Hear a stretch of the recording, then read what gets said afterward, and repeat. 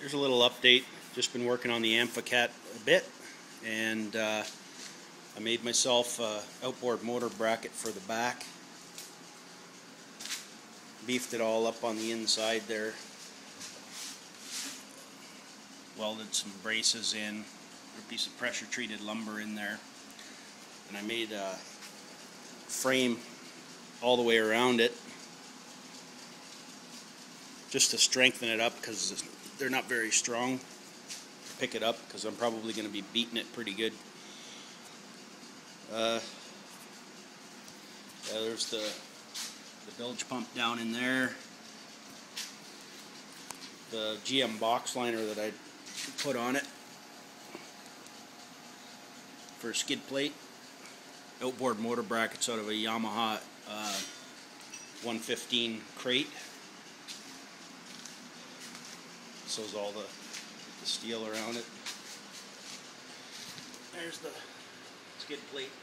You can see I had to turn it inside out because of the way it was bent on the back to get the uh, the bend on it. So it's more of an M something. Um, I gotta get one more chain for that tire. I put one around there.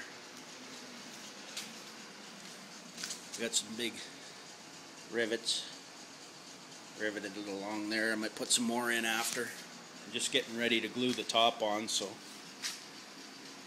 just thought I'd take a little video here. I have a this is strong. You can put a motor on there for in the water.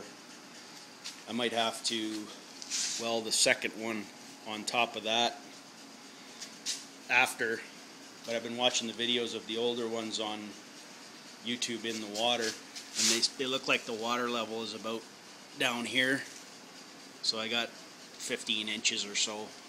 If I have to make it higher, I will. I just wanted to get that all braced on the inside and bolted through before I glued the top back on, which I'm about ready to do now.